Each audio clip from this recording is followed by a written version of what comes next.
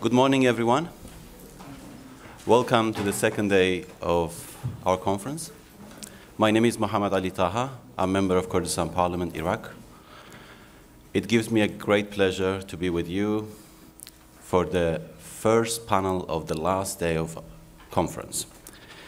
Well, our panel is very interesting, as you can see in the title, ISIL and Al-Qaeda in the Arab world.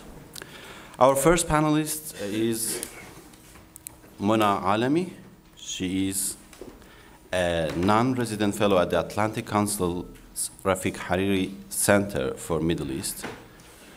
Uh, she's also a PhD student. She's pursuing her PhD on non-state armed actors in the Syrian war.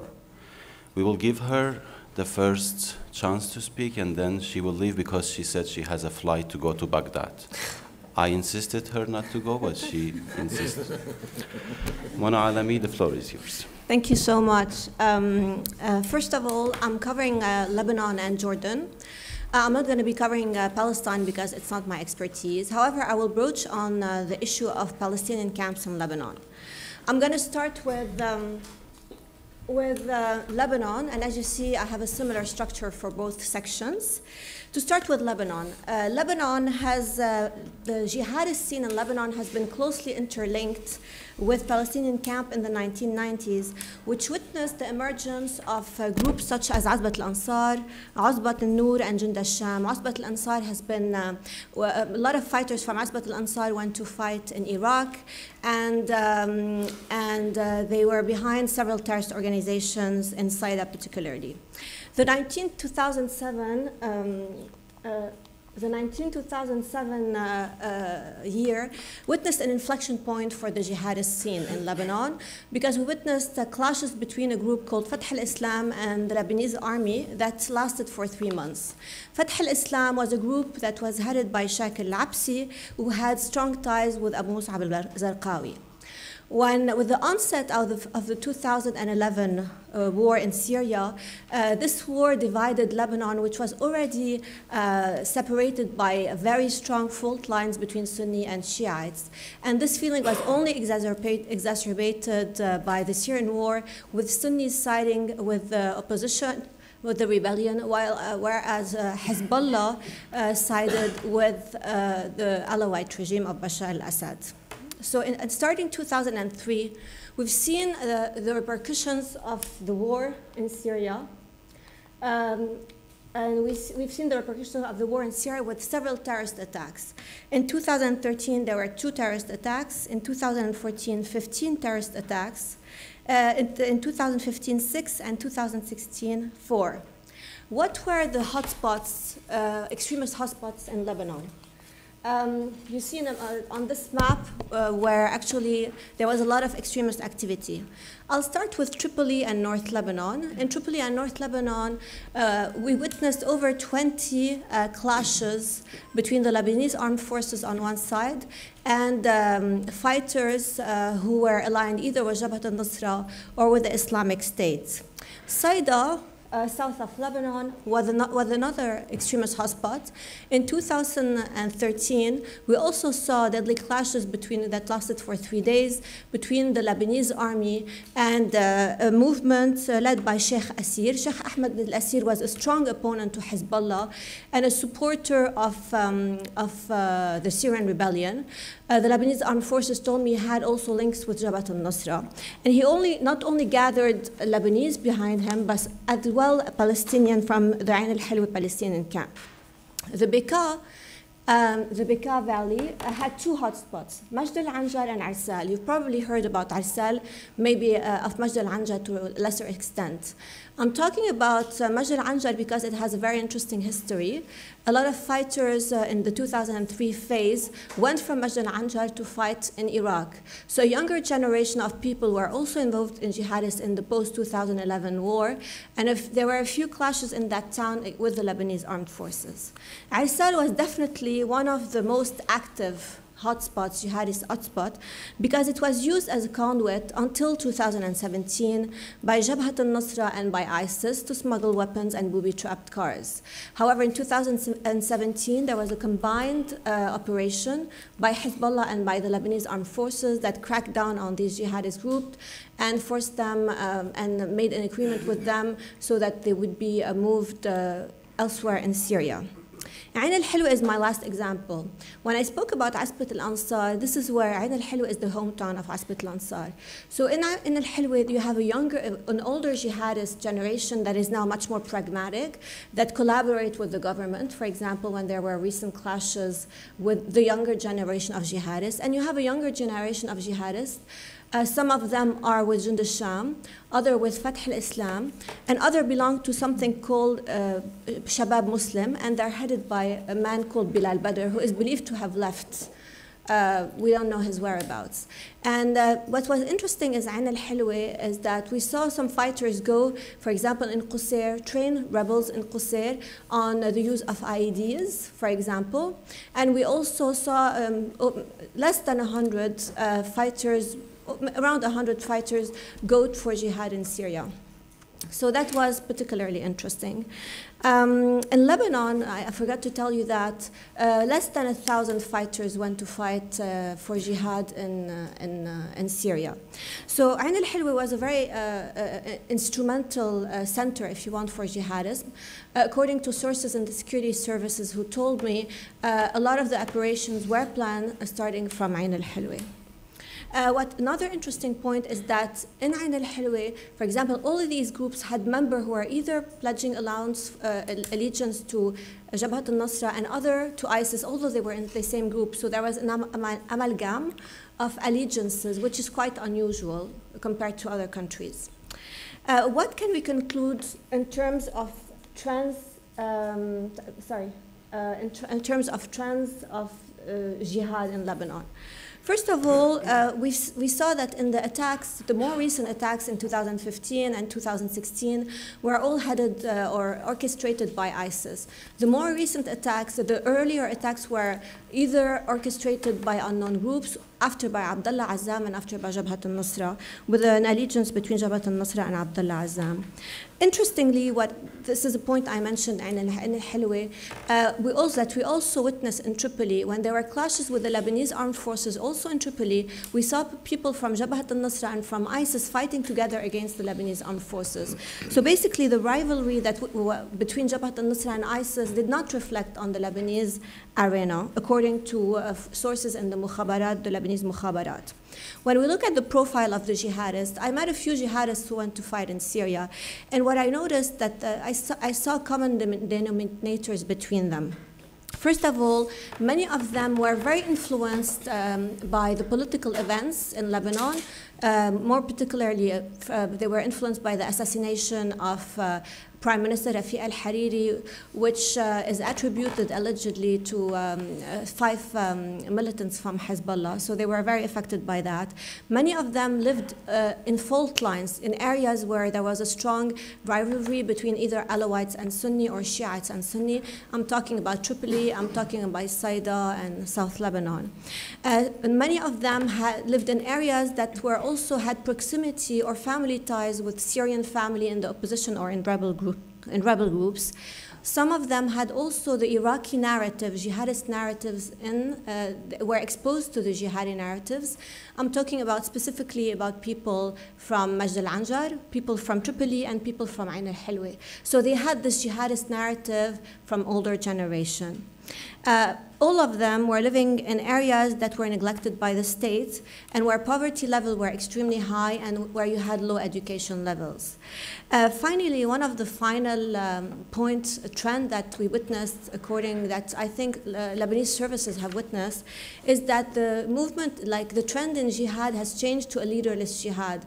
So we saw operations starting with organized and structured operation, moving to small decentralized cell maybe two years ago, and now maybe lone wolf operation with people working on an individual level or with two other three people. So is, these are the trends we can conclude from Lebanon.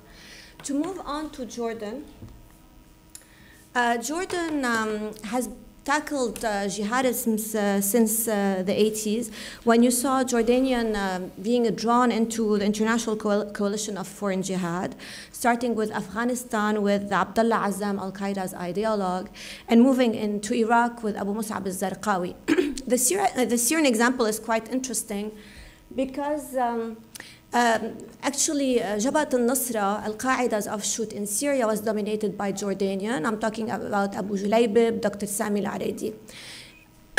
Excuse me. And more recently, what's actually interesting, I don't know if you're, most of you must be aware there was a rift between Hayat Tahrir al-Sham, the former Jabhat al-Nusra, and the people hardliners uh, who didn't, who were, who were against, uh, you know, separating from al-Qaeda. And the hardliners have, uh, have created a group called uh, Hurras al-Din, which, uh, which is a coalition of several groups such as Jaish al-Badia, Jaish al-Malahim, Jaish al-Sahel, and many other groups, even uh, people from Jund al-Aqsa.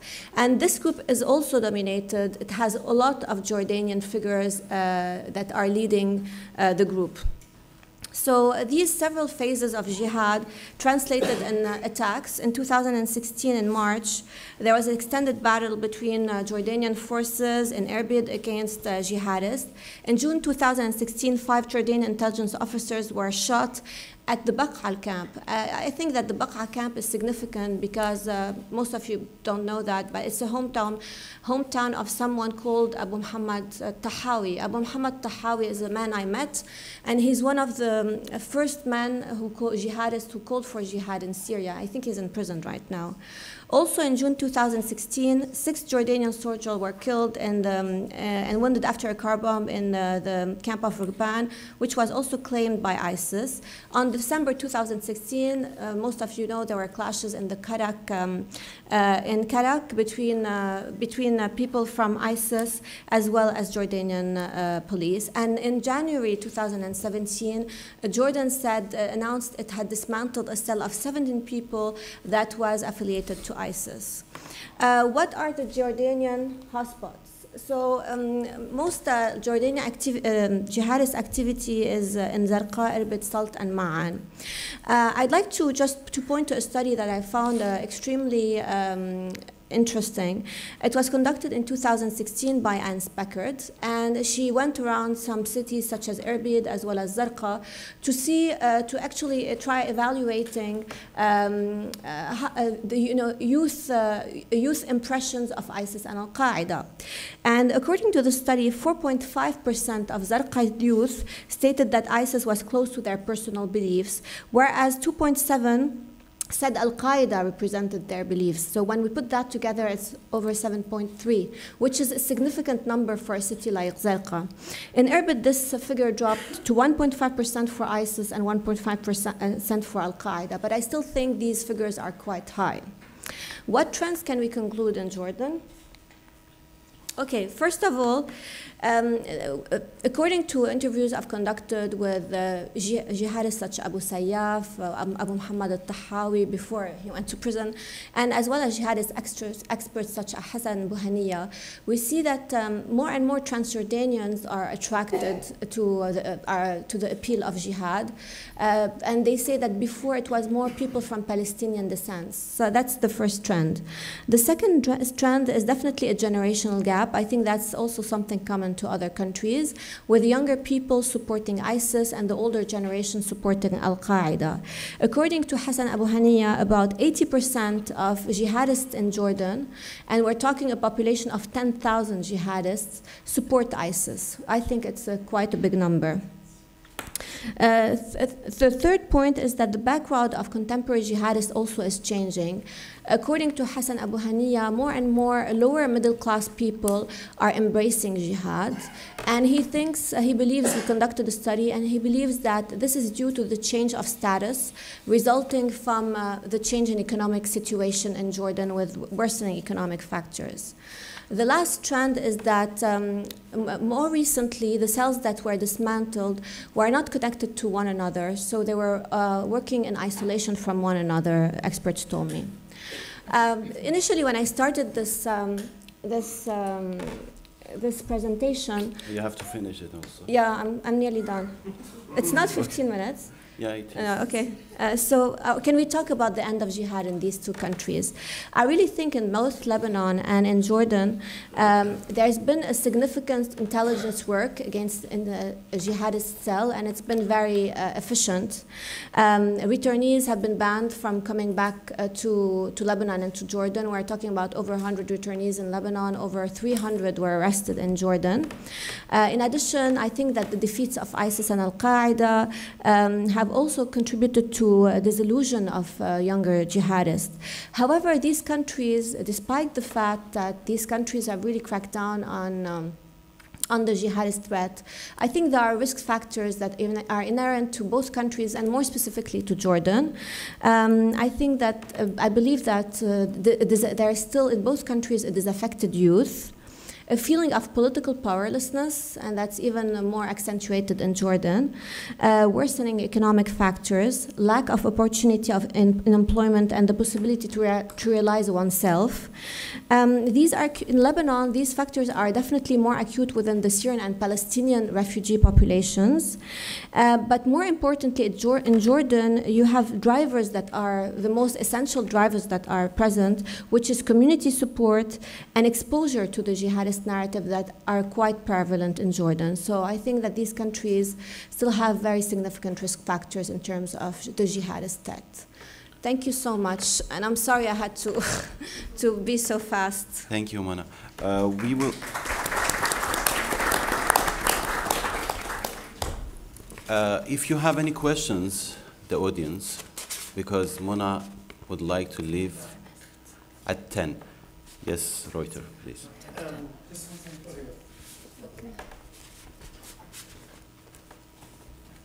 Okay. Uh, until uh, the mic comes, I, I have a small question. Uh, they need it. Uh, you uh, talked about numbers and statistics. Uh, of course, about the Yemenis and Syrian and all these people that are recruited. No, you, Syrians and, and, and Lebanese. what strategies did and did ISIL and Al Qaeda use for recruitment, for example? Okay, so uh, there, there, are different strategies. Uh, when we look at Lebanon, for example, there are two, two types of uh, you know recruitment. It's offline and online. So basically, as I said, you have people, for example, in Lebanon who are exposed to jihadist narrative in areas such as in Tripoli, such as the Mankubin, uh, such as uh, are several areas in uh, Tripoli. So within their family, they have these narrative that is prevalent, and um, they have also family ties with rebel people. For example, in Tripoli, there was uh, Junda al-Sham was operating in Qal'at al-Husn in Syria. And uh, because they had family ties with the people from Mankubin, they were able to recruit over, I think, 300 people from uh, alone.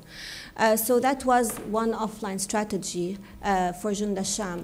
Um, however, there you have also with ISIS offline, we've noticed that more recently with the crackdown on jihadist group, uh, there were links, for example, between younger jihadists uh, who were speaking on Telegram uh, with the people in, in Raqqa before Raqqa fell, or in Mosul, more specifically in Raqqa, and who were indoctrinated in this way. So there was both ways, offline and online recruitment. For the uh, Jordanian aspect, I remember when Daesh killed the Jordanian pilot yeah. and in a way fooled or tricked the Jordanian government that they should uh, exchange one of the long-term uh, Qaeda prisoners while they already had killed the guy. Sure. Um, I remember it had quite a deep impact, at least on the, let's say, community support, the gray zone, which hadn't really any objections against mm. ISIS, mm. but this changed afterwards. Correct. Um, how was the long-lasting effect of this? Uh, look, from my understanding from the figures I saw, definitely when um, uh, I think, uh, was killed, uh, there was a really strong uh, opposition within Jordan. But you have to think that for hardliner jihadists, a lot of them said that uh, was fighting with the coalition against Daesh, and he was fighting Arabs with the, Westerners. So for hardliner jihadists, this does not change their opinion. There was a small regression in numbers, but as you see, for example, from the study of, of Anne Speckhard, which was in 2016, which was after, I think, the Kasasbeh killing, the numbers are still high. So I think that was, uh, you know, the, the, impact was more maybe for non, not hardliner jihadists, but for really core jihadists, I don't think the impact was that significant. Thank you. Gentlemen in the back. Thank you. Um, uh, Dr. Muna, um, my question is, uh, you mentioned a lot I'm not yet a doctor. uh, you will, inshallah, in the future. Um, my question is, we are focusing on my organization on post-ISIS uh, strategy, uh, especially focusing on the youth, because as you mentioned, the youth uh, has a, a, huge role in, in ISIS um, organizations. I want to hear your perspective on preventions on the future, how we prevent youth to be uh, be recruited again. As you know, ISIS is an ideology, so it might last for for a bit of, of, of time. I want to hear your perspective on the preventions on protecting youth from ISIS crimes or in future. I don't think there is one approach because when you look at the profile of jihadists, there are so many motivations for people. Uh, yesterday, I think someone was speaking about people being motivated by having a better life because they wanted to join, uh, you know, a pure Islamic caliphate, because uh, they wanted for financial reasons, because they wanted to avenge maybe uh, someone in their family had killed uh, by by the police. So there are so many different, or, because they felt marginalized. There are so many different um, feelings. But I think that one feeling that is common to all jihadists is there is the feeling of powerlessness and shame and, uh, uh, and injustice. And I think these are extremely powerful. Actually, injustice and shame are the most powerful feelings in a human being. So I think that when you want to go to in a community, you need to try understanding these to tackle if you want to develop a program. So if there's a feeling, for example, of injustice within a community, you need to understand why is the, is the community, community feeling marginalized? Is it because they don't have access to, uh, to work or job or an evolution in personal life like others? That's maybe one way. But secondly, I think a very important job that one has to do, like firsthand when you go into such a community, is uh, you have to uh, also look at people around the person who went for jihad. Because as we said, the, the generally these jihadists have a supportive community. So you need to identify these people and try to de-radicalize them, expose them to another form of interpretation of um, Islam, but not just bringing by a sheikh who's like 89 years old and gonna read them verses of the, verses of the Quran, but someone who can speak their language. ISIS is good because it empowers people and it speaks the language of the youth. And we need to tailor sheikhs who can speak the same language and give other options and de-radicalize them in the same way.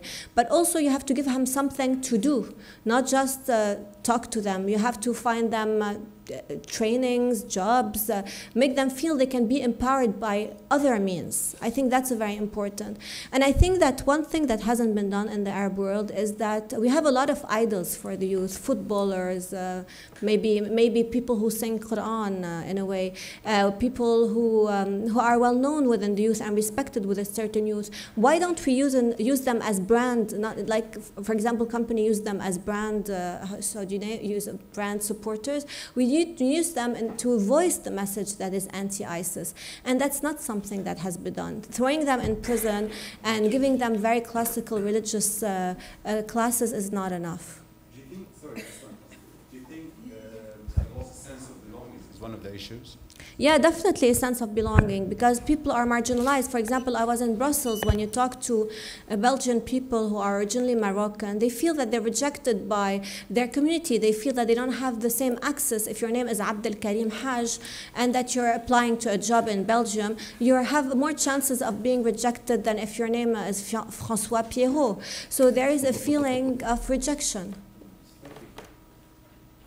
Sir. Uh, sorry, it's 10 o'clock. Uh, one last question, and I have to go. Very shortly. Thank you, Madam Mona. I just have a small question. You are talking a lot about poverty, about uh, social problems, but I haven't heard any word about the Wahhabism, ah, which is the Wahhabism, which is the source, if you want, the origin of all our problems in uh, this uh, 20th and 21st you- century. You are right. For Thank you. example, Jordan uh, had a big problem with its mosque because uh, it has, I think, over 7,000 mosques, and uh, more than half these mosques are he- headed by sheikhs that are not uh, controlled by the by the government, and they're trying to, um, you know, t- they're trying to curb on that. Yeah, definitely. I think there should be more control on what uh, sheikhs uh, who have extreme views are saying in the mosques, uh, and especially in mosques that are maybe sometimes they are informal mosques. I think yes, the, the state has a job to do when it comes to controlling the speech, the hate speech of Salafi or Wahhabi uh, extremist uh, sheikhs. Thank you very much. Sorry, I have to go. I'm really Excellent sorry. presentation. Have a safe flight.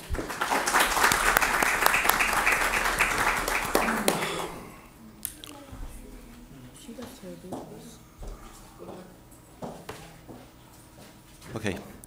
Our second presentation is uh, on Al Qaeda dominance in the Arabian Peninsula. Dr. Elizabeth Kendall is with us for the second presentation. Uh, she is a senior research fellow in Arabic and Islamic studies at Pembroke College, Oxford University. We had a very nice conversation last night, and this is very interesting what she's doing nowadays. She is researching ISIS and Al Qaeda inside poetry. Can you believe that? The floor is yours. Oh, well, thank you for that very generous introduction. It's my pleasure to, to be here. Um, I'm going to look very briefly at the recent resurgence of Al Qaeda in the Arabian Peninsula. Of course, the group came together in 2009 formally when the Saudi and Yemeni branches united. But I have published on this recent resurgence, and so I'll move quite quickly on to what's happening today and what might happen next. Um, so, if you want to go into more depth in any of the first half of my short presentation, you can find my work my academia.edu site. I don't recommend that you buy any of my incredibly overpriced books. It's all up there for free. So, if you look at this map, the shaded area in stripes represents the area that Al Qaeda had influence over or control over from 2015 onwards. This is a vast area. And it's incredibly interesting to see how they did that. You see, of course, the resurgence of Al Qaeda in 2015 coincided exactly with the beginning of the Saudi led military coalition intervention in Yemen. The fragmentation of the state, the destabilization of Yemen gave the ideal opportunity for Al Qaeda to move into that space and to frame the current war in Yemen in terms of its own sectarian narrative. But there's a lot more going on than just that. We always ask the question what is it that radicalizes people? What is it that causes them to join the jihad?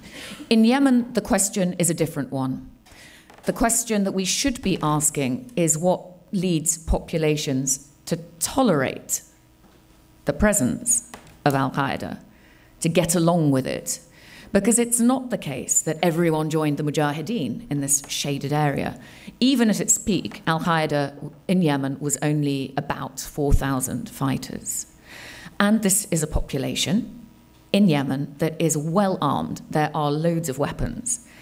They're used to fighting and they're used to death. So they can't be terrorized into submission very easily. There have to be other mechanisms going on.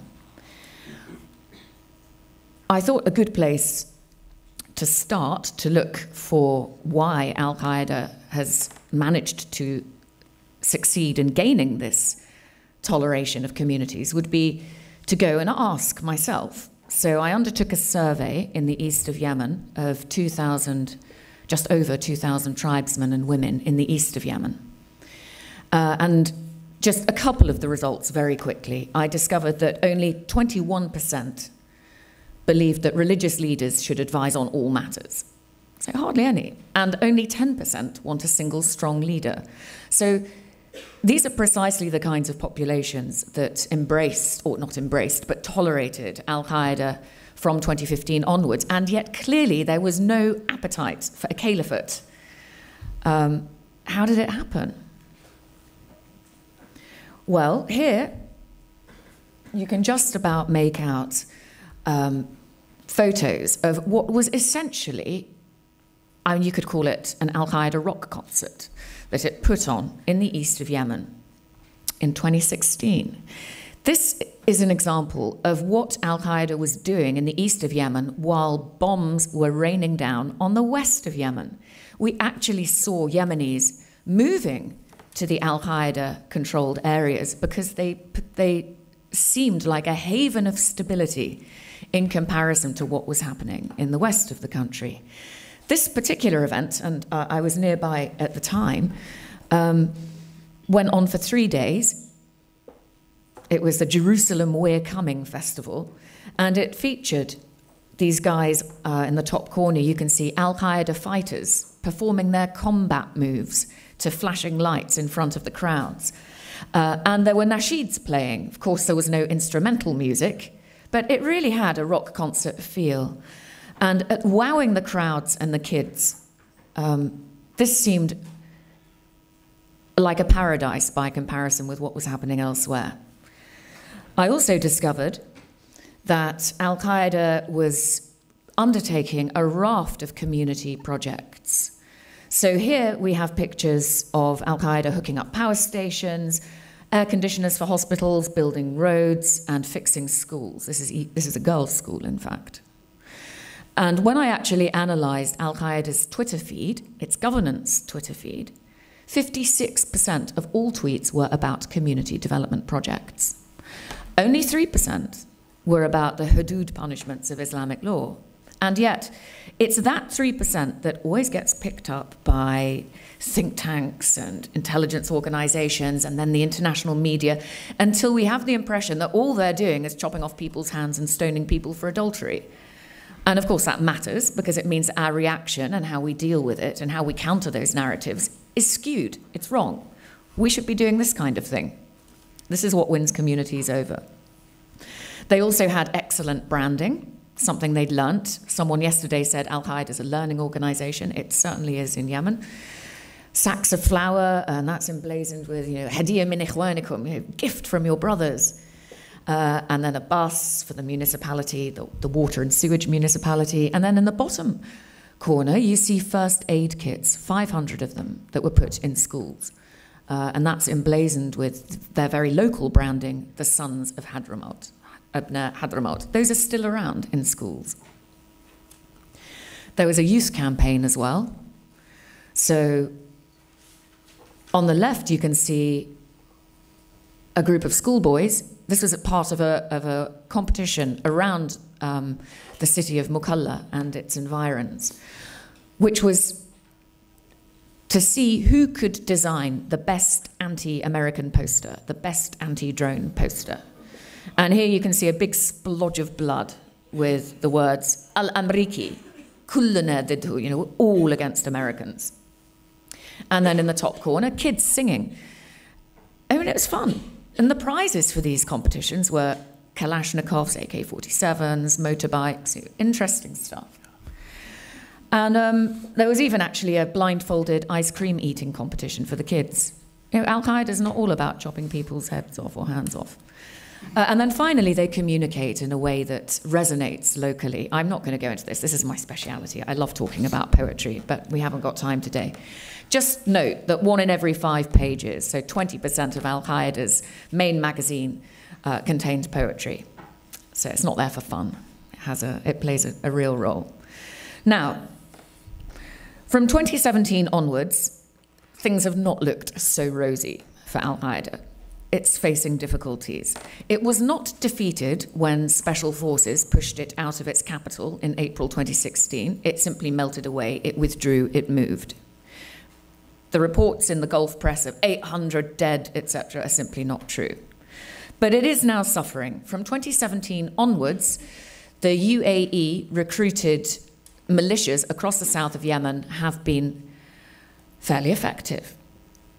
And we know this because Al Qaeda's, well, we know this for three reasons. Number one, Al Qaeda's statements formal statements, have started to turn on tribesmen, so to criticize tribesmen who are joining up with the UAE militias.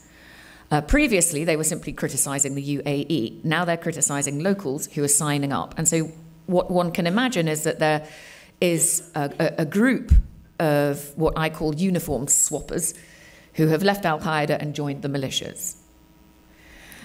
We also know this because of the targeting.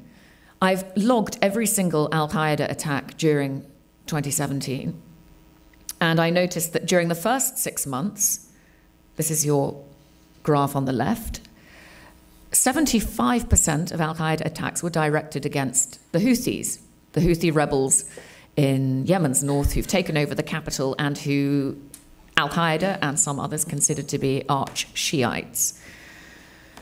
In the second half of 2017, that has started to switch. Most attacks are now against the United Arab Emirates military security forces, against their militias. So that's telling. And the third piece of evidence is that on the Telegram groups in which I sit, not as myself, as somebody else, um, it's very clear that there's a steady stream of martyrs from the lament poetry that's coming out, from the photos, the martyrologies. They're, they're suffering, they're dying. The United Arab Emirates is, is now being referred to in very derogatory terms, either as, you know, Duwaylat uh, al-Khadarat, Duwaylat al-Khamarat, you know, the little state, the statelet of filth, the statelet of wine. Uh, it, it's it's starting to absorb more of the anger than the Houthis. So this is a really interesting switch. But there is some evidence also that Al Qaeda is simply moving around a little. The coalition keeps claiming defeats in different areas, and yet the number of martyrologies does not correspond to the numbers anywhere close to the numbers that the coalition is saying that it's killing. And we are seeing Al Qaeda simply crop up in different areas. So its operations tend to just move around. Uh, recently, there was the UAE led Operation Al Faisal in February in Hadramaut. It lasted about five days. United Arab Emirates coalition reports were saying that it lasted about one and a half days. Um, Al Qaeda claimed that it killed about 40 soldiers. Emirates says, you know, it lost a couple, maybe. I it's very difficult to know where the truth lies. What we do know is that Al Qaeda has said, at the end of the five days, we withdrew and we're now in a nearby place. Some of the evidence from Telegram points to that being the case. Um, now, in 2018, especially, so the last three months, things are really looking quite bleak for Al Qaeda. We had, uh, sorry, I shouldn't really be showing you this slide yet. Don't look at the picture. Um, we had 273 Al Qaeda attacks during 2017. So far this year, we've had 31. So if the same rate of attack continues, we will end up with half the number of Al Qaeda attacks this year as last year. Islamic State, on the other hand, which has never held territory in Yemen, it never undertook community works. It certainly didn't use culturally resonant forms like poetry to communicate. It was considered alien. Islamic State has, to date this year, conducted 13 attacks. Last year, it only conducted between 25 and 30, so 10 times fewer than Al Qaeda. But if the rate continues as it is this year, it will, it will have doubled its number of attacks on last year. So, to summarize, what I'm saying is that Al Qaeda seems to be declining a little, and Islamic State seems to be rising. Not massively, and it will never take off like Al Qaeda did for a whole bunch of reasons, which I can't go into. But I think what's happening is that we're seeing the foot soldiers start to be more fluid between the groups. And part of the reason for this is that, number one, so many Al Qaeda have been droned. Number two, the main leaders of Al Qaeda, people like Qasim Araimi and Khalid Batarfi, have gone to ground. They're lying low, they're in hiding. And their communications have been disrupted. We saw them fall off their telegram wires for three weeks. It's unheard of uh, during February and March this year. Nothing. There was nothing posted.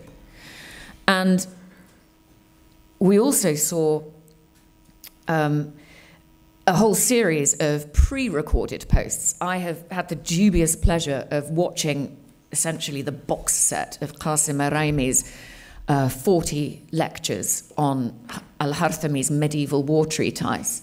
Which, which have been coming out, almost saved for a rainy day. When we're not doing operations, let's put up one of our leaders' war treatise lectures. They're incredibly boring. And they just go on and on, and they've clearly been filmed in one single session, although they claim they don't. They claim that's not the case. It's very clear that they have been. And whenever nothing's happening, they post one.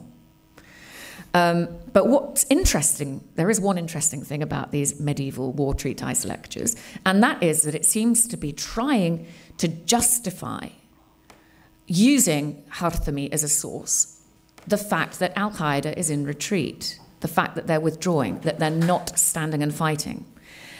Uh, all right, I have about one minute left. Less than. I have 30 seconds left.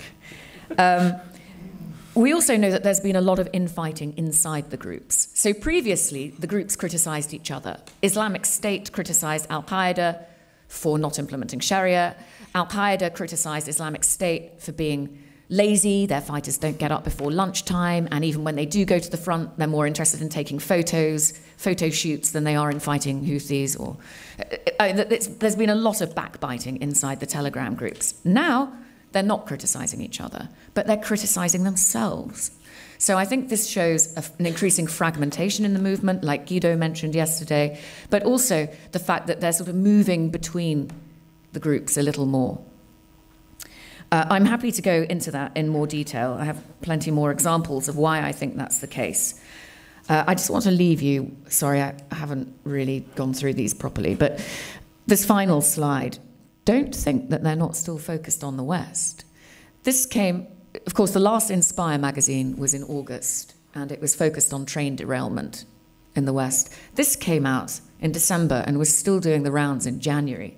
It's Al Qaeda in the Arabian Peninsula desperately trying to claim some credit for the train derailment in Washington, D.C. This never seemed to hit the media at all, but I found it very interesting. And of course, it also shows Anwar al Awlaqi. You can drone these guys, but they live on. Um, they you, you can't really get rid of them. They, they live on beyond the grave and they're constantly in the propaganda. Thank you. Thank you, Dr. Kendall.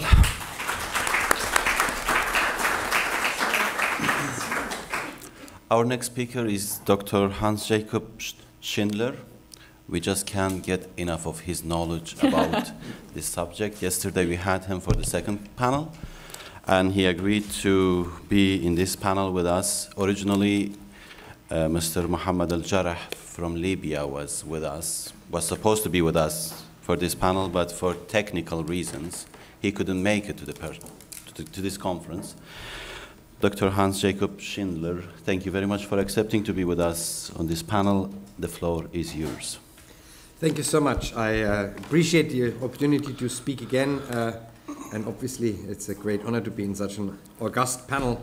And I hope I'm not going to disappoint too much. Um, what I um, will look at mainly in this presentation is the situation in Libya, but what you need to know is that the team that I used to lead in the Security Council has a global mandate. So I will look at this in, in a more global or regional context as well. Um, we have no mandate on the internal political aspects of the Libyan fight, and I know some of the questions that were posed as guiding principles to the speakers had a quite a political context, so I'll stay well clear of that. Um, the UN is uh, enough involved uh, in, in, the Libyan in domestic situation. They don't need me to uh, tout out new positions. Um, my presentation will have three parts. Uh, first, uh, a short overview of the evolution of ISIL in Libya and the importance of this affiliate for ISIL core. Um, a little bit more in detail what I already hinted at yesterday. Then I will look at the regional effects of ISIL being in Libya and what that meant for the security of the neighboring countries, and then I will try to do an assessment of what potential future developments may be happening. So let me start with uh, the evolution of ISIL in Libya. The story for ISIL is not an unambiguous, unmitigated success story in Libya. Uh, first cells of ISIL emerged in Derna at around 2014, where you could identify them as being ISIL, where they were first contacts with the core. When the group attempted to, attempted to take over and managed for a short period of time control over the city of Derna by aligning itself with various groups. But fairly shortly afterwards, in 2015, the Shura Council of Mujahideen in Derna, itself a coalition of various groups, ousted the group. This was the first example um, uh, that we could see where the classic ISIL takeover strategy didn't, uh, didn't work. Um, we've seen this many times working very well in Syria, but also in Afghanistan, where you have essentially a three step approach. First, um, you do not announce your presence as, as a group as such, you take a long time. Uh, uh, at times to gather information and intelligence about the power structures in the area, who has what weaknesses, who, what could be used against whom, and then when you declare your emergency, you immediately align yourself with the second strongest group in that area uh, and propose to oust the strongest group in the area. Once that it's done, your former ally gets a choice either join or be ousted yourself. Um, that worked very well in, in, many areas in Syria, in some areas in Afghanistan, in particular in Helmand and in, in, uh, in Nangarhar, but it didn't work in Derna at all. It, it really backlashed once they started to try to oust their former ally, they were ousted themselves. Um, following this retreat um, from Derna, ISIL started to focus on another city, uh, which I'll come to in a second. But from the very outset, uh, even during the Derna time, um, there was a strong support of ISIL core for its projects in Libya. Um, for example, in, in, in 2014 15, around 500 Libyan returnees, i.e., Libyans who were already with ISIL in, in Syria, were sent back by the core to support its projects there. Um, and it seemed from the very beginning that ISIL took far more care of this affiliate than the rest of all of the affiliates that emerged. Um, we had the impression that there was an attempt to establish a second strong base, maybe even as a retreat. That became particularly clear um, when we talked, uh, when we looked at uh, the situation then in Sirte. Um, again, um, after Derna, uh, fairly quickly, ISIL was able to establish uh, control over the city in Sirte. Obviously, it's a strategic location, so it makes sense to concentrate there. There were quite a lot of network structures already in the city, and of course, with Sirte, you had the opportunity to gather some support from the Gaddafi tribe. Um, former tribe of uh, Muammar al-Gaddafi, uh, which actually then some of the intelligence officers of the Gaddafi area did join ISIL in Sirte. Uh, now, however, the problem was not an internal uh, um, ouster, but that uh, it was basically fairly quickly squeezed by two um, more uh, other militias, the Misrata, of course, militia, and the oil guards, um, both acting formally loyal to the GNA, but th those loyalty was questionable or is questionable even at this time. Um, these two were instrumental in retaking the city. Uh, when I looked at uh, some of the media reports in preparation for this report, it was quite striking that it was always talking about the government. The government had nothing, no troops there. It was the Misrata militia and the oil guards from the east and the west who squeezed the city. Um, and the government was simply legally, formally in charge of all of this, but we had never the impression there was any kind of operation control that the government exerted on either one of those militias.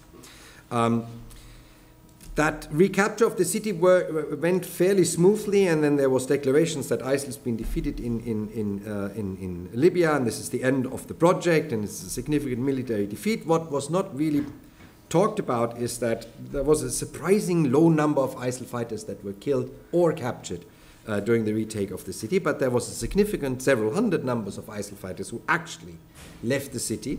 Um, during this, during this phase, um, um, fairly evenly split, split between the southwest and the southeast of the country. The southwest, of course, is the traditional AQIM uh, Western Recuperating Area. There were, uh, uh, attempt, there were abilities for those fighters to meld in with already existing Al Qaeda structures. The southeast was the choice because there was an established, uh, uh, from the Derna and Sirte times established foothold of ISIL in the area of Al Kufra. Um, that area was particularly chosen not because it's a particular strategic point militarily, but that's where the uh, human smuggling and uh, human trafficking flows go through, and you had to have some kind of structure there to make sure that your foreign fighters that are coming to support you in Libya are, are not going to get uh, kidnapped. So there was an active operation and cooperation with human smuggling operations. One example is a group called Magafe. It's a organized crime uh, group that smuggles and traffics people from the south to the north. And so ISIL had a deal with them, payment for security, and uh, a part of the service is foreign fighters get brought to the north without disappearing on the way. Um, since this time, however, uh, since both groups went uh, to the southeast and southwest, um, ISIL has not been able to establish yet, again, uh, territorial control over any significant part of Libya. But um, it maintains a cell structure in all major cities that are capable of conducting terror attacks, and I'll get to that in a second.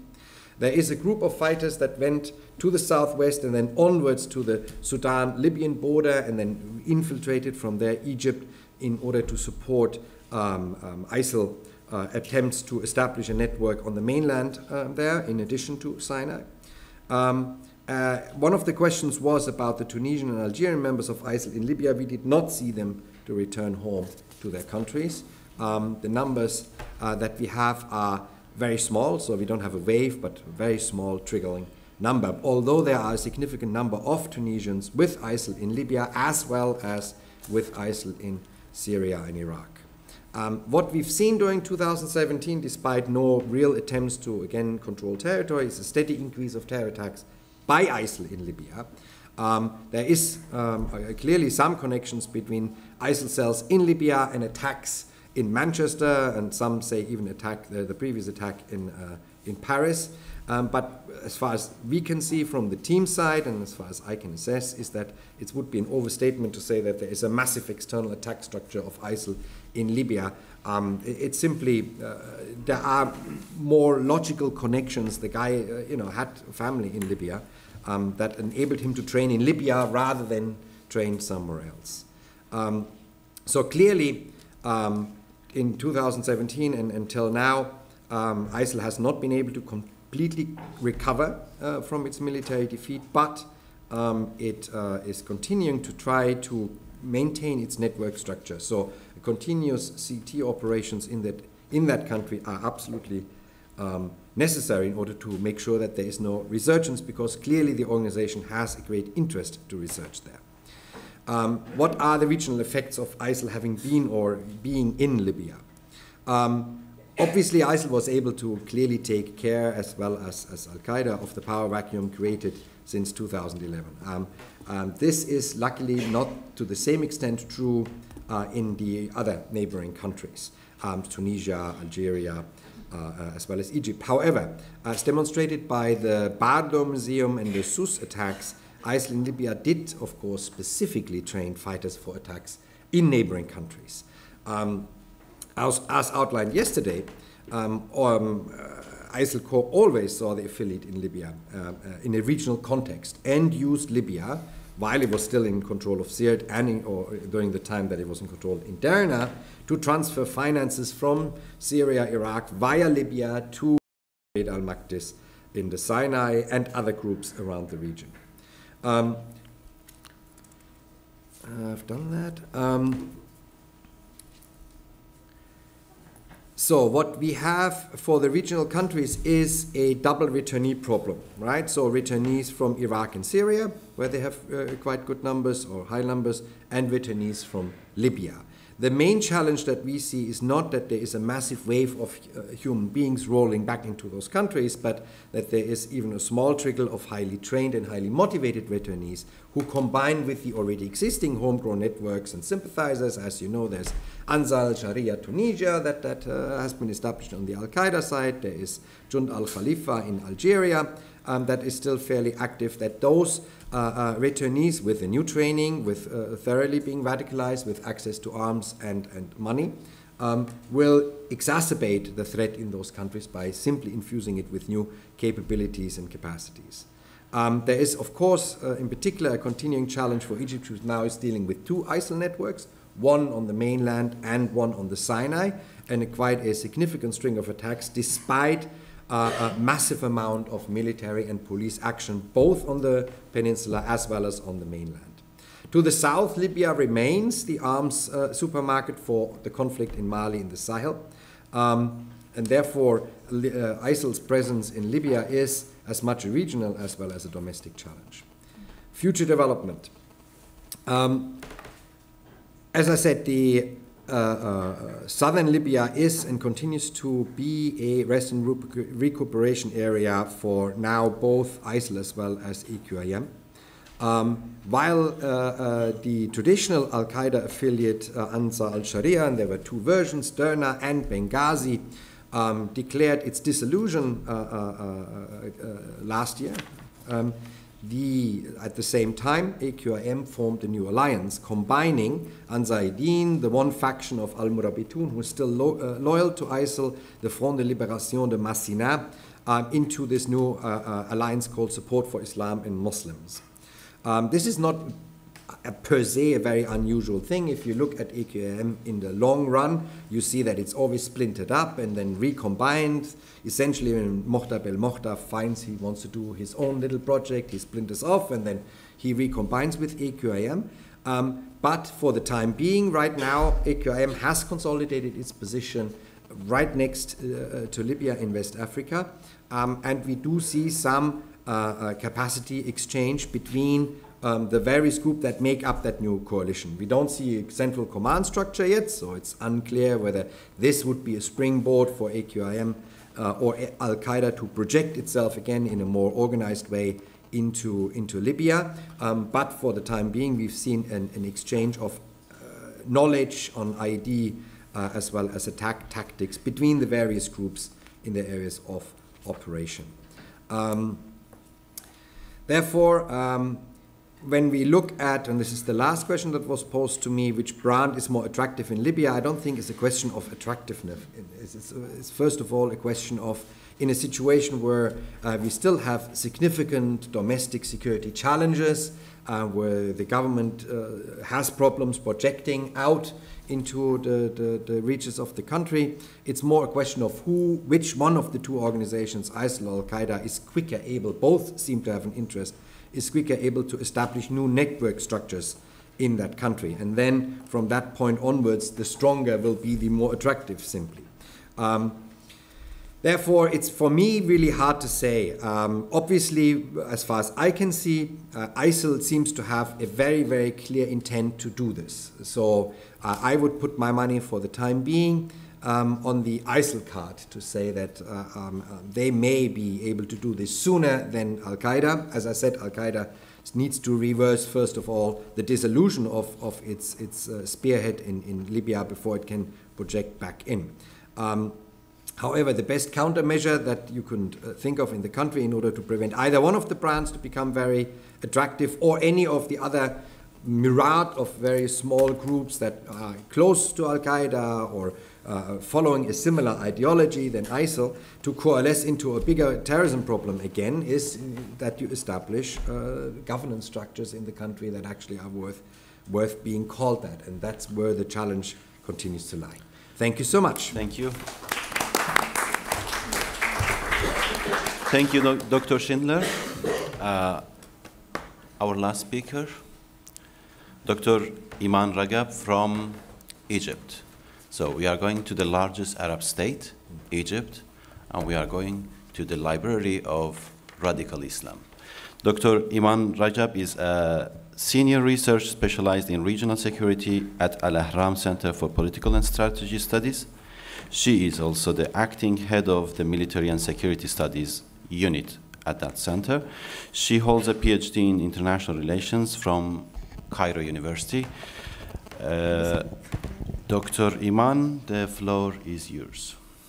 Uh, thank you very much. Uh, Uh, I would like to thank Cass as well as Sam Faris for inviting me to be part of this conference.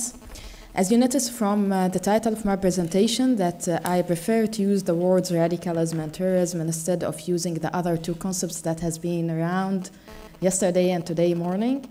Uh, as I believe that uh, to understand uh, the map of terrorism in Egypt and the status of violence that is taking place in Egypt recently, uh, it could be misleading to use the term Islamic radicalism or Islamic jihadists.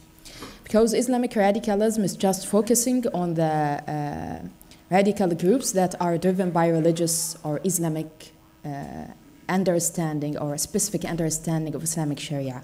And in Egypt, there are different types and other types of radicalism. It cannot be just be uh, um, uh, uh, confined to uh, religious radicalism. Also, the word jihadism, in my point of view, is more uh, legitimizing the existence of terrorist organization instead of describing it as it is. Because jihad in Islam has a specific definition, has specific conditions that needs to be met, just to call any group to be a jihadist.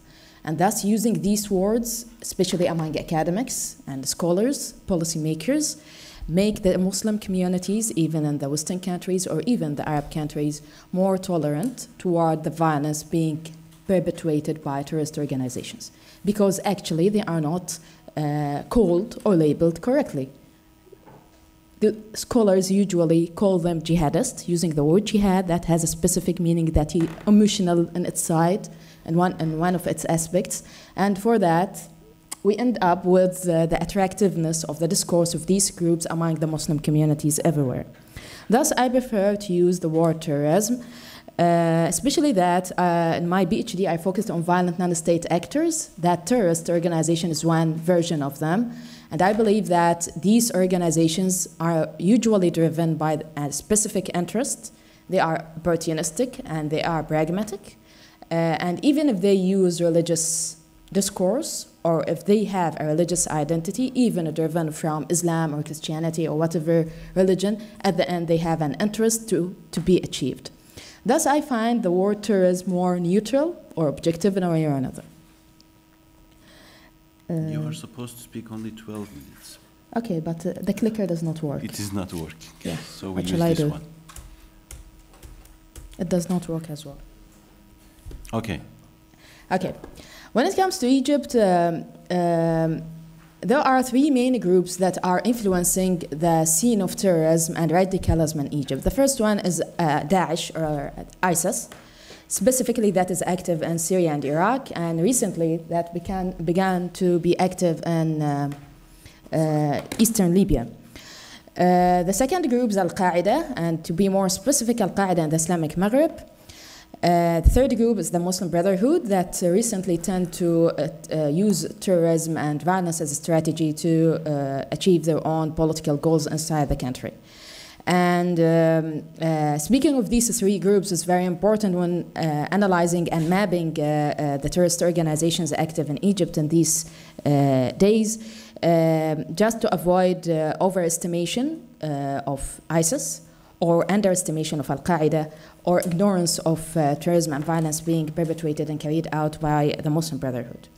This map has been released and published by The Independent, and it shows you the number of, or the amount, the weight of terrorist attacks carried out by uh, ISIS, that is colored in red.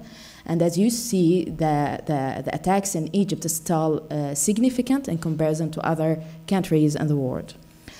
When it comes to Al Qaeda, um, many scholars who focused on Egypt used to ignore the importance of Al Qaeda ideology and Al Qaeda attractiveness to uh, young people in Egypt.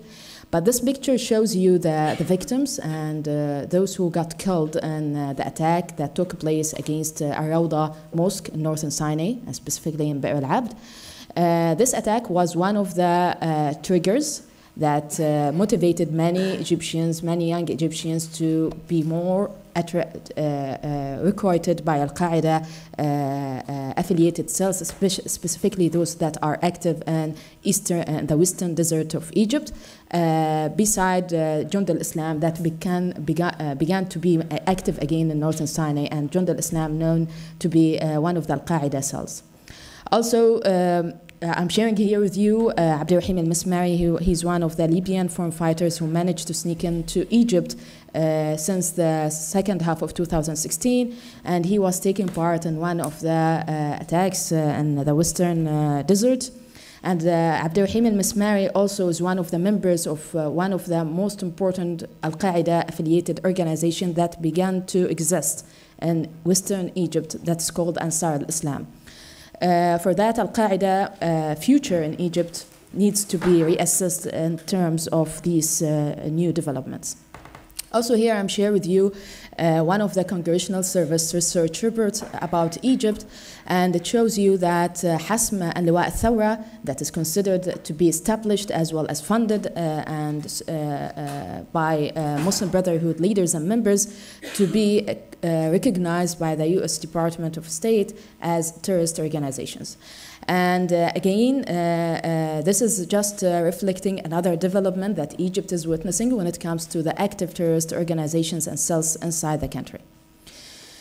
Uh, in that context, uh, it is, uh, it's important for me to um, explain to you that the landscape of terrorist organizations in Egypt is transforming and it is very dynamic. It is not static. Even though Egypt has been going through a revolution twice in the first decade of 2000 of the 21st century, um, uh, and here I'm sharing with you the most important terrorist organizations that are able and capable and resilient enough to carry out terrorist attacks inside the country, either in northern Sinai or in the mainland, and also to um, uh, have a, a large number of uh, uh, civilians who got killed or injured.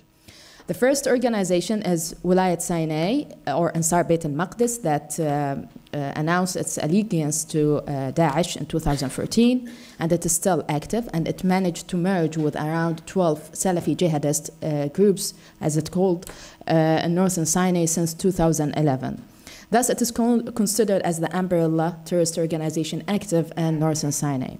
The second organization is called Daesh Egypt, and this one started to exist in the mainland uh, since the end of 2016, thanks to the foreign fighters coming from Libya, either through Sudan or uh, through the uh, western borders with Libya.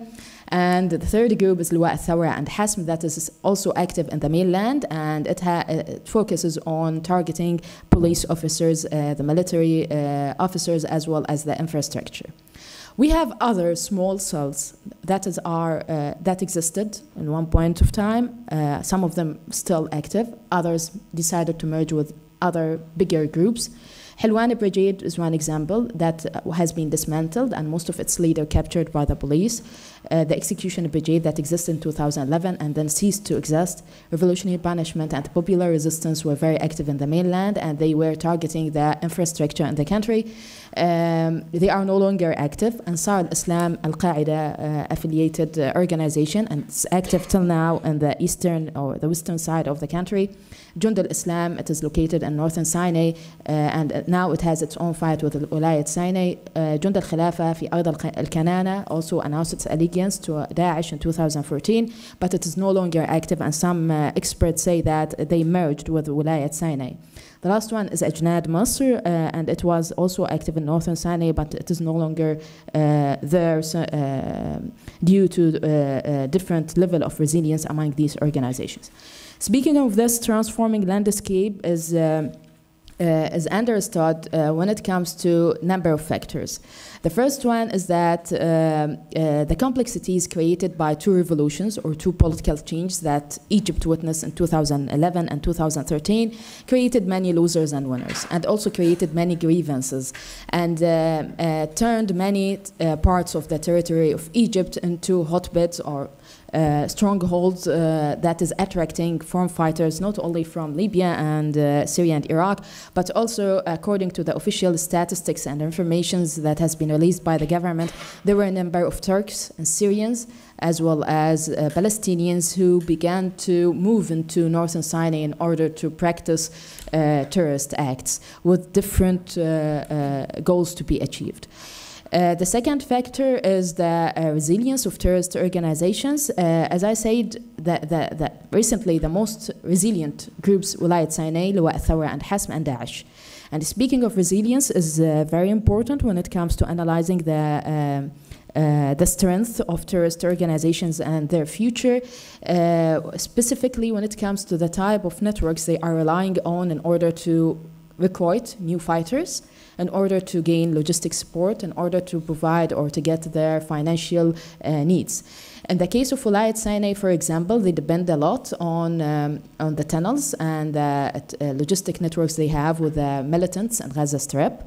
Uh, when it comes to Ansar al-Islam and other Al-Qaeda affiliate cells in, eastern, in the western part of the country, they depend a lot on Libya as well as Sudan.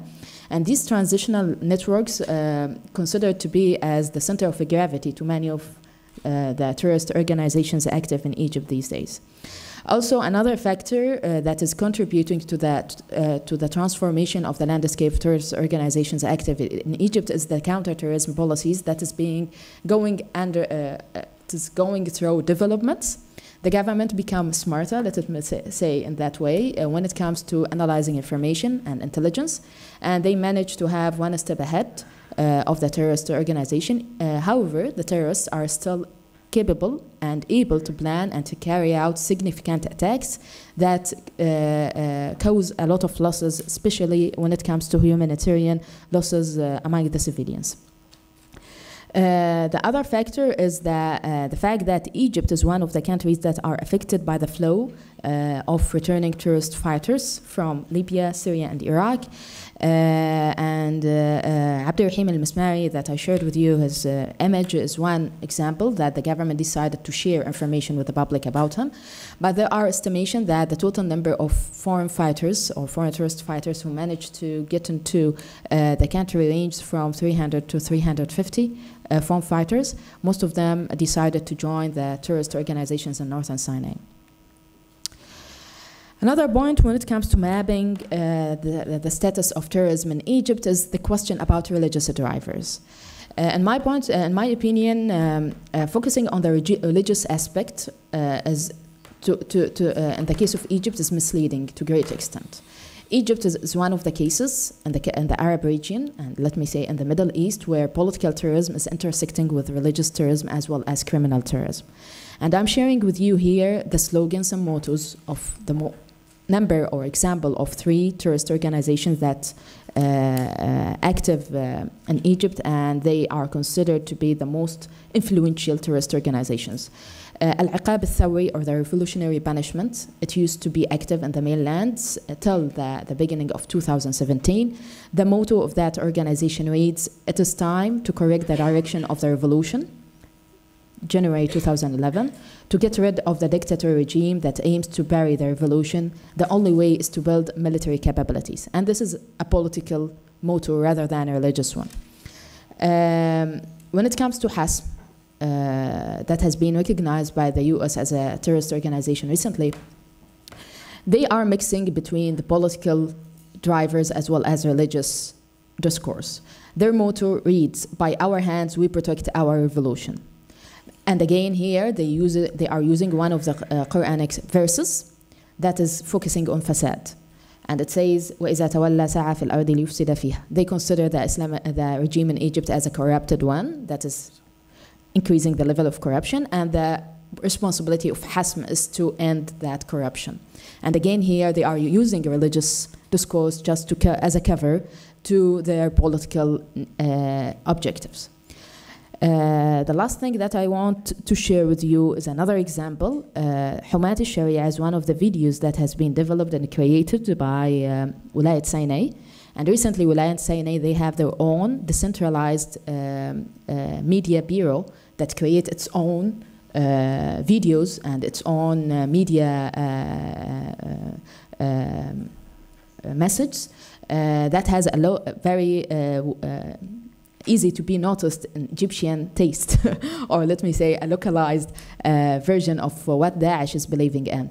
Humat al-Sharia was focusing mainly on um, on the presidential election that Egypt is having right now, and it had only one specific message: is threatening regular citizens from going to vote in that elections.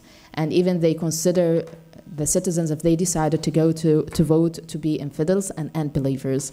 Um, this this type of videos and these type of messages is just uh, um, uncovering another aspect of the goals and the objectives that Wilayat Sinai in Northern Sinai is aiming to achieve and how they are using uh, different uh, religious uh, discourse uh, uh, in order to cover the, their main uh, political end. And even Humat Sharia, the guardians of Sharia itself, is just another way of how they use and pick up the labels of their videos they are using to recruit or to attract new recruiters. And I stop here. Thank you. Thank you, Dr. So, questions? Dr. Lahoud. Thank you. Um, my question to Dr. Iman. Um, the mosque attack last year, to my knowledge, uh, neither the Islamic State nor Al Qaeda has claimed responsibility for that. So, based on what um, we see on social media, um, there have been rumors that maybe the government might have might have carried out the attack. Um, there is a Christian group that has claimed the attack, but I'm just surprised um, if, if no, if, if I am correct, that, that nobody, neither the Islamic State nor Al Qaeda, claimed responsibility for it. What do you think is going on? Thank you. Uh, next question. Okay. One question to Dr. Kendall. You showed the surprising variety of promotional efforts of Al Qaeda to win over hearts and minds. But to what extent do they exert control over the tribes once they are present in an area, compared, for example, to Daesh in eastern Syria? So let's take another question from here and then we reply, respond, and then get back to another row Hi. questions. Hi, my name is Rudaina Al-Balbaki. I work here at the Issam Fares Institute. Actually, uh, Mr. Christoph just uh, uh, brought up uh, the tribes. First, Dr. Kendall, thank you for talking about the communities that are uh, living, that had to deal and live under, whether it's Al-Qaeda or, uh, or Daesh. At the Institute, we work uh, on a project that is funded by Konrad Adenauer uh, Stiftung uh, Syria and Iraq office that looks at the intra and inter-tribal dynamics in Deir and uh, in Deir ez-Zor in Syria, and their role in uh, facilitating or uh, obstructing the expansionism of of Daesh in Deir ez-Zor. So you've talked about mechanisms going on between Al Qaeda and the social and political existing structures in the specific areas in Yemen. So what are these mechanisms? Can we speak about a legitimacy of the governance of does Al Qaeda play the grievances of the tribes, or for example, uh, go into coalitions with the tribes. For example, in Deir ez-Zor, we have noticed that uh, Daesh would go into coalitions with tribes who were previously allied to the Syrian regime, so who has lost their control over a lot of resources in the time that uh, the Free Syrian Army or the Jabhat al-Nusra took over Deir ez-Zor. So does it work? Does these mechanisms exist in Yemen too? Thank you. Gentlemen. Use the mic. please. touch upon some of the similar factors actually.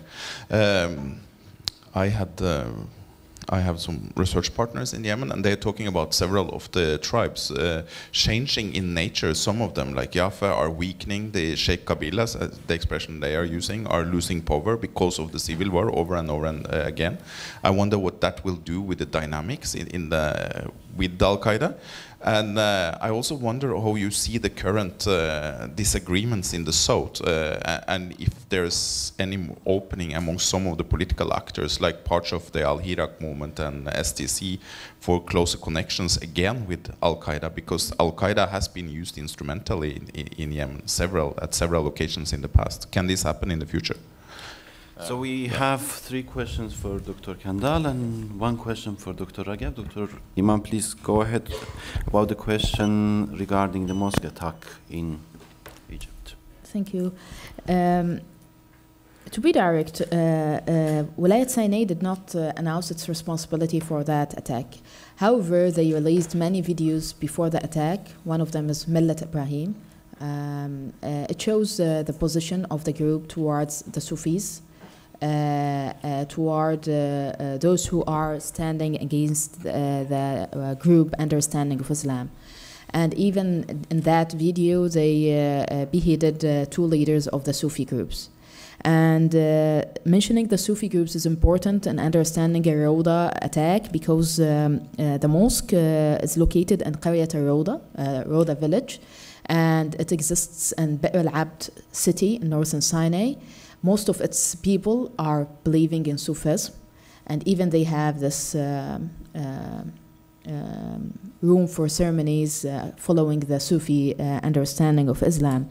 And this mosque was used by, extensively by believers in Sufism to do the Friday uh, ceremonies. Even though the, um, uh, the organization itself did not announce responsibility after the attack, and many scholars say that uh, uh, it is because of negative uh, reaction uh, created by such an attack. Looking into the type of message they were creating previous uh, in the time previous the attack, uh, it shows that they don't stood against it at all. Uh, not only because they are Muslims, just anyone may argue that ISIS will not attack a mosque. They may attack a Christian church, but not a mosque. But again, they don't have any issue uh, as long as they are attacking a religious institution that is not following their own uh, doctrine. Uh, another point that needs, or I would like to highlight in responding to that question, is that the details, the details of the attack shows that they were not targeting the mosque as a building, rather they were focusing on increasing the number of civilian deaths. And uh, the, the total toll reached 305 uh, civilians were killed, including children and uh, uh, elder people. Uh, and this shows that they are moving more towards uh, urban terrorist uh, tactics rather than uh, focusing on attacking the police or the army. Uh, the final point uh, uh, uh, to that is um, um, the tactics of, of Wilayat Sinai um, has been developing along the way and uh, uh, some uh, of the um, developments and especially when it comes to the type of recruits they managed to attract after a Rauda attack and after uh, the attack on uh, Al Arish airport while, where the Minister of Defense and Minister of Interior were there in that airport at that time uh, shows that um, most of the young people I interviewed some of them they consider ISIS did not commit or uh, did not announce that it is responsible for the mosque, but they will not be standing against it because they believe that part of the ideology and part of the rhetoric of Wilayat Sinai is not tolerating having different uh, Muslims practicing different uh, um, rituals uh, from what ISIS believe or Wilayat Sinai is believe is the only correct version or correct understanding of Islam. Uh, it is, you know, uh, unclear to what extent they sent their own fighters to commit or to carry out the attack. But again, uh, according to through analyzing their discourse, they don't have anything in their belief that stand against such attacks. Thank you. Sorry, Dr. can I Kanda? interrupt? That- That means that they wouldn't have lost anything by taking responsibility for it. So if they're not, if, if that's, sorry, so if that's, if that's fine with them, they're not going to lose support. So why wouldn't they claim responsibility if they did it? Sure. So it's, I think because of the negative reaction from the people living in, in Rauda. After the attack, they, they approached many females who lost their fathers, brothers, or even their husband in the attack, and they told them, well, the government will not provide help for you. We are the one who are providing help, and they managed to recruit some of them to provide logistic support to their uh, operations in uh, Be'r al-Abd. Dr. Kendall? Yes, thank you for your questions. Very good questions. Um, so, you asked about the extent of Al Qaeda control over tribes, and you asked about how they, the mechanisms for influencing with tribes, and you asked about weakening tribes and also about the Southern Transition Council. Right. So, I'll try to answer those all together with a bit about the South tacked on the end. Um, so, yes, of course. it's not easy to control Yemeni tribes, and I do not think for one second that Al Qaeda has ever achieved that. It's about reaching uh, an agreement to be allowed to exist. And of course, so in my own interviews, uh, and I, I, actually did the tribal mapping of the eastern areas for the British military, so I, I am quite familiar with how all the tribes interact. Um, what what has happened is that once you get one person or a few people from one tribe into Al Qaeda, it's not like the whole tribe's with them, it's just that they don't like to fight them. Um, but they will throw people out if necessary. Now, the huge increase in drone strikes. The United, by, by the way, CENTCOM has said that it conducted 131 drone and a couple of, including a couple of air strikes against terror targets inside Yemen in 2017. That's massive. It's about four times what it was in 2016, and it's more than any of Anne's slides, Anna's slides yesterday for Pakistan. So you can understand that tribes are no longer quite so welcoming um, to terrorists, um, and that they don't want to make these kinds of alliances. But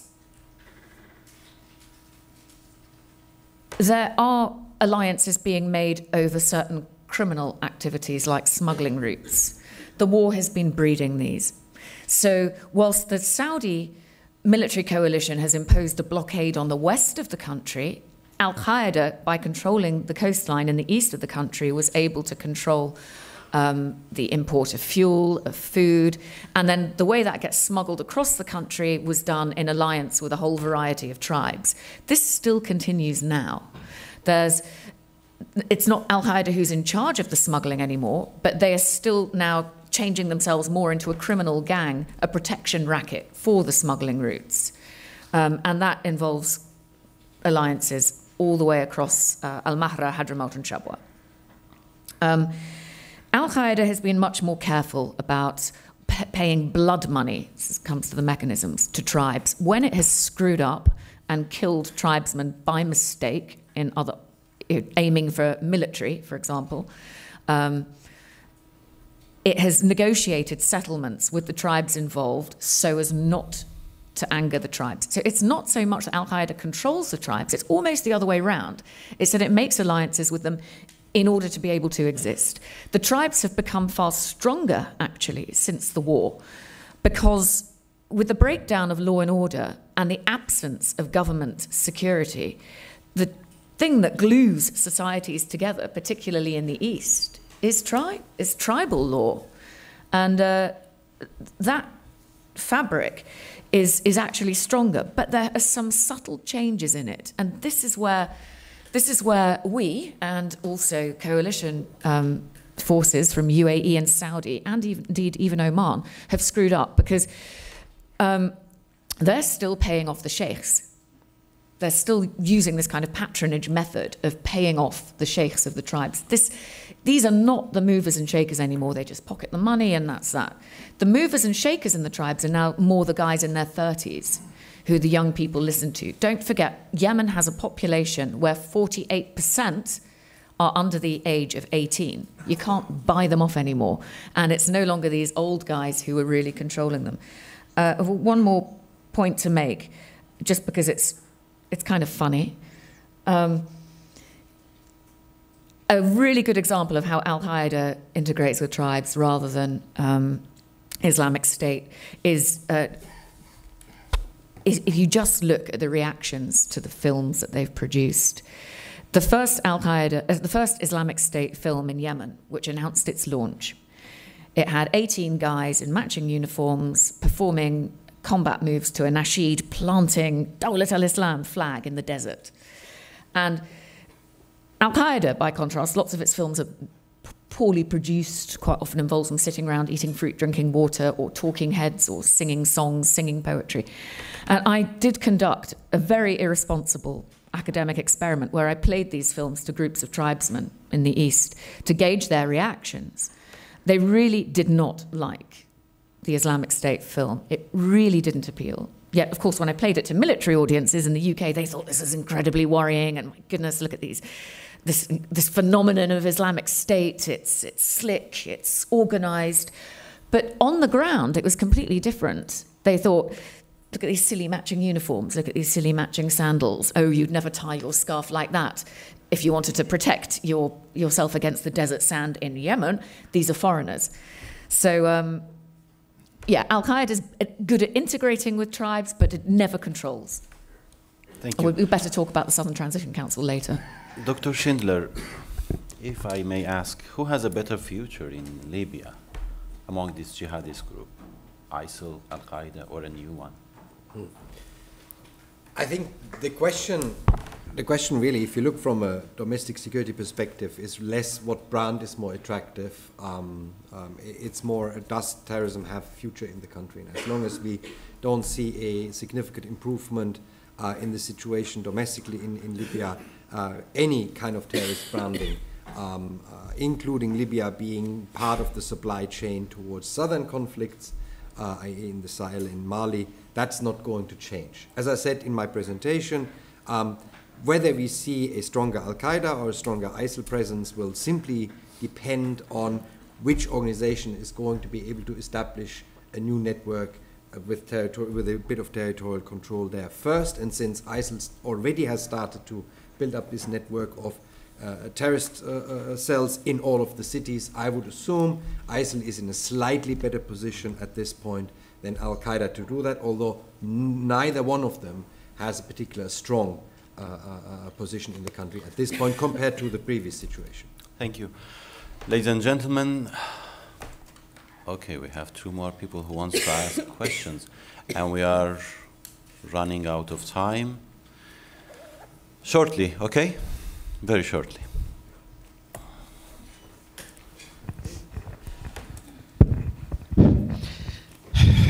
Professor Assemani, Dr. Ragab, uh, I'm quite aware that the actual regime is fighting terrorism. But I want to ask you, is there any relation between the Egyptian educational system based on the Sharia and the behavior of a lot of jihadists or uh, terrorists, especially against the Christians in Egypt. Thank you. The gentleman in the back.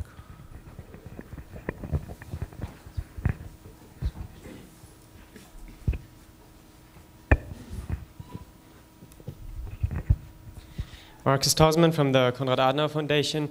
My question is somewhat related. Um, I would like you, um, Dr. Ragab, to elaborate a bit on the government's narrative because you differentiate between the different drivers of terrorism. Um, the measures that I've seen so far are more on the educative level, you know, changing the curricula, trying to control sermons, cracking down on illegal mosques and the likes. Would you be able to elaborate a bit on how the government views the drivers of terrorism versus um, how okay. they portray them, like in the official narrative? Both questions are somehow related, so short answer and we are done. Okay, I'm working on a research project and I think it will be published by April. It is on the drivers of terrorism among young Egyptians. Uh, and it, it is based on interviews with a sample of those who uh, uh, practice terrorism uh, either in Egypt or in Syria and Iraq or in Eastern Libya. Thus, I may share it with you.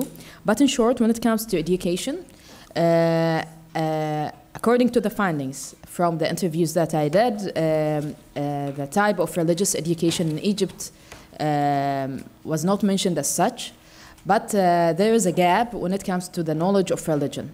And this gap is uh, uh, used by the different discourse and narratives being developed by tourist organizations active in Egypt uh, especially when it comes to the word uh, of al-khilafa, the word of uh, and other concepts and words being used in the discourse of the terrorist organizations. When it comes to the narrative of the government, the government is focusing only on religious terrorism.